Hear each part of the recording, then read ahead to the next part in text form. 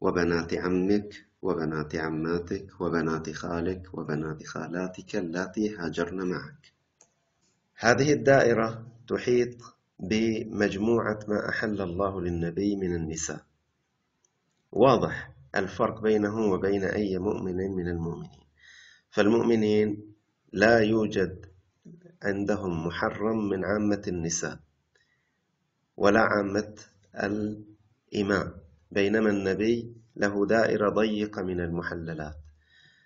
فنلاحظ أن النبي قد ضيق عليه في عامة النساء فهن غير محللات له ما عدا النساء اللاتي كن زوجات له قبل نزول الآية. كذلك الأمر ينطبق على الإماء فأي أمة من غير الفيء هي غير محللة له وأي امرأة أمة من الفيء ولكن غير ملك يمينه فهي غير محللة له بحسب الآية. ما حرم على النبي من النساء هن كل امرأة حرة لم تكن زوجة للنبي قبل نزول الآية. وكل أمة ليست من الفيء وكل أمة من الفيء ولكن لم تكن مملوكة للنبي قبل نزول الآية. النبي أن ينفصل عن كل زوجاته السابقات. هكذا. فما الذي تبقى له من المحللات؟ طبعا الإجابة واضحة. اللاتي سوف يتبقين له هن كل النساء من أقاربه من العم والخال. وكذلك كل ملك يمينه مما أفاء الله عليه حصرا. وكذلك كل امرأة من عامة النساء إن وهبت نفسها للنبي إن وهبت نفسها للنبي. هذه دائرة تمثل نطاق النساء المحللات للنبي. ومن ذلك سوف نستخلص ملاحظات مهمة.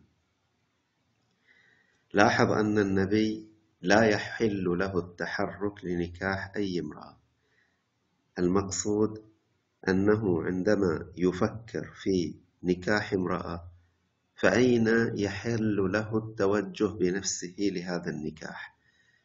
أول شيء نستطيع أن نفهم أنه لا يحل له أن يتحرك ولا يرغب ولا يتمنى ولا يريد أن يذهب إلى الفئتين من عامة النساء ولا من عامة الإمام فهو ممنوع من الذهاب إليهم.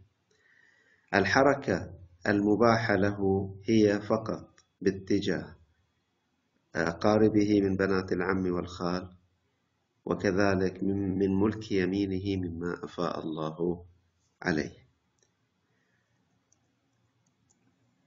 أما فكرة المرأة التي قد تهب نفسها للنبي فهي فكرة قد تحصل وقد لا تحصل لأنها تتعلق بالمرأة. هل تختار لنفسها أن تدخل ضمن نطاق المحللات للنبي أو لا؟ فإن حصلت فهي حالة قد يتعامل معها النبي وإن لم تحصل وهذا ما قد يكون في الواقع. فنستطيع أن نعلم بأن خيارات النبي مضيقة جدا. ليس له خيارات كثيرة كما هو مباح لبقية الم... يعني الأمم السابقة قبلنا أهل الكتاب اللي قبلنا. في شرع اليهود كان الرجل يتزوج من بنت أخيه من بنت أخوه لازم يتجوزها. وكان يتزوج من بنت أخته. ده في شرع اليهود. حتى تبص في مسألة سيدنا موسى عليه السلام هتلاقي حاجات غريبة في المسائل دي. اللي بيتجوز بنت أخوه. واللي بيتجوز بنت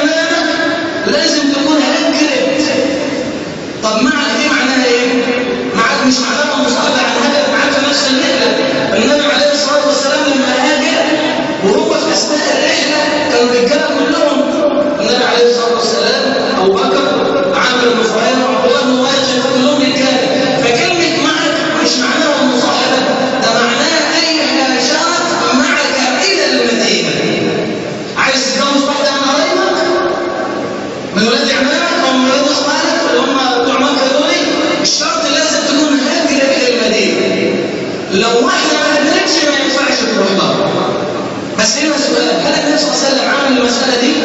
ما عملهاش هي شرع له مسألة جائزة جوز واحدة قرايبه ولا هاجره بس لم يتزوج النبي صلى الله عليه وسلم ولا واحدة من قرايبه خلاص ما حصلش.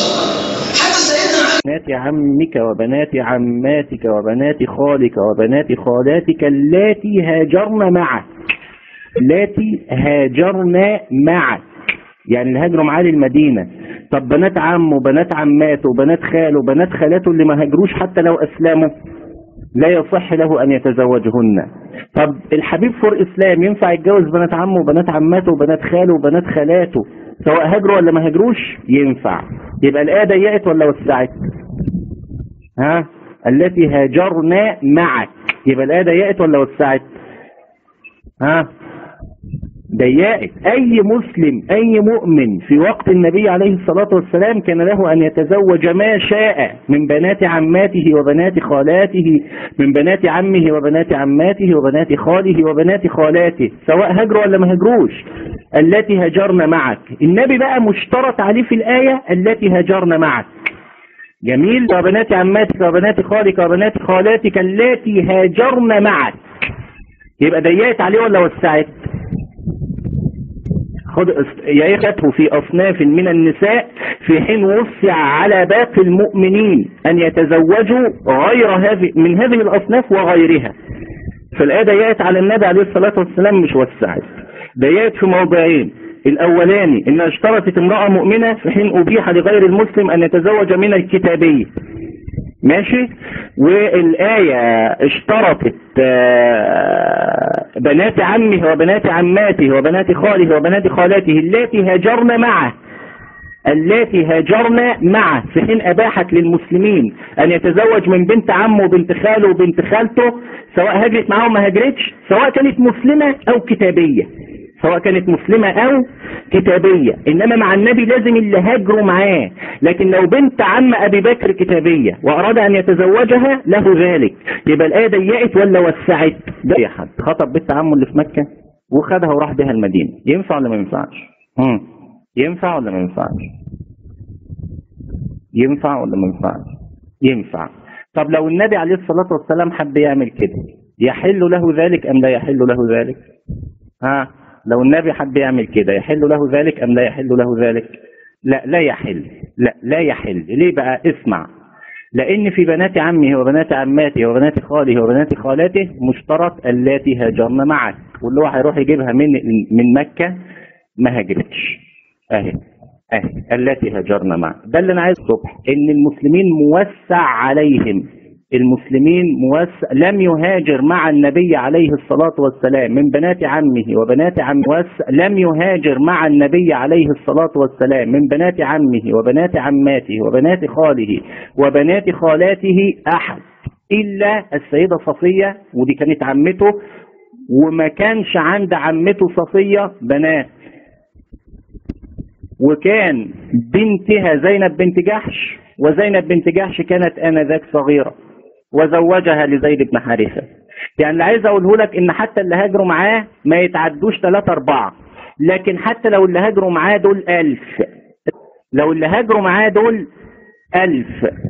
لا يحل له من بنات عمه وبنات عماته وبنات خاله وبنات خالاته إلا اللاتي هاجرن معه.